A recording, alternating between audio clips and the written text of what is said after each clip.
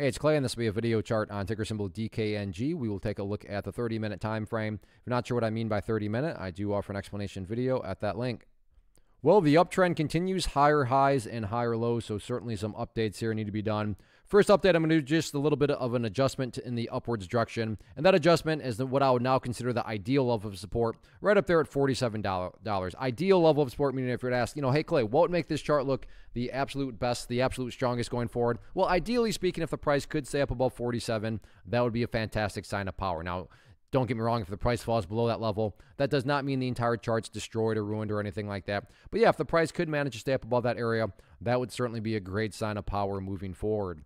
Taking a step back and looking at all this from the bigger picture point of view, that is where the purple line there comes into play, the 50 period simple moving average. Keyword being moving. So as time goes by, that line is going to move itself higher and higher, which is very helpful because when it comes to gauging the health of the move, that right there being defined as the move, just watch that purple line. As long as the price stays above that line, as the line itself moves higher and higher, then the bulls are in full health, the bulls are in full control. How you must visualize that, that is what is being represented. Again, sure, staying above 47 would be great.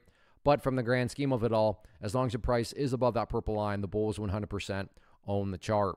As far as areas of resistance are concerned, key level here that stands out is now there's this little resistance trend line here that has, you know, made itself known. So there's clearly some selling pressure that has shown up, and I don't mean selling pressure in the sense of so therefore this thing is getting ready to crash down to $40. I'm just saying that, you know, the, the price tried several times to, you know, push back up to highs, but each time uh, not only did it fail to get, you know, through the highs, it actually continued to put in lower highs. So that's going to be the near term level of resistance to keep a close eye on. But all in all, from the bigger picture point of view, as long as the price keeps on putting in those higher highs and higher lows, that is what matters most. First off, thanks so much for watching the entire video. Real quick, before you go, I want to invite you to a live webinar, web class, training, workshop, online event whatever you want to call it, but it will be me live revealing to you what I've discovered that has allowed me to transform myself from being an employee to being my own boss, including how I had only one losing day out of 73 days in total.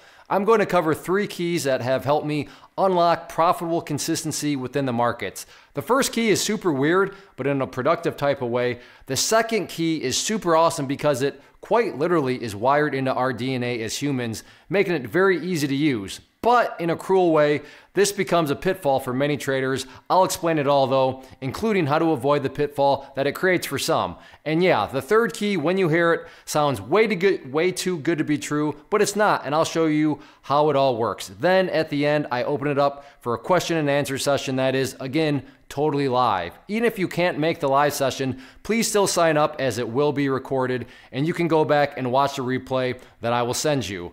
Click the image on the screen or click the link down in the description box so you can get the date and time and claim your spot, which I should note is limited due to the fact that this truly is a live event. If you have any questions, let me know. If not, I'll be seeing you soon.